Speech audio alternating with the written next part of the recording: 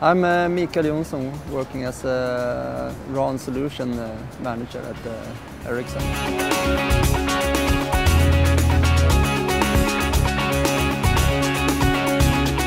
Well, first thing is of course that we need to uh, provide networks that can handle this huge amount of data uh, in our networks.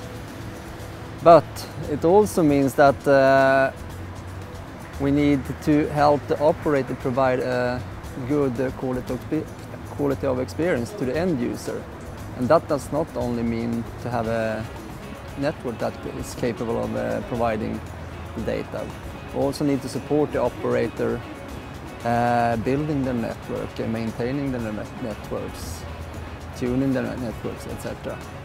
And we also need to look into the devices, how the devices can provide good quality of experience and also how the application works uh, in systems. So it means a lot of things to our company.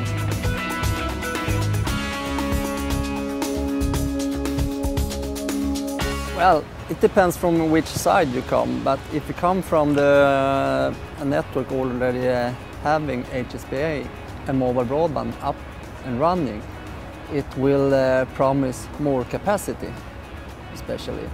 And to the end user, well, uh, high data range and uh, short latency, which will provide uh, the possibility to introduce some new features that we haven't seen before.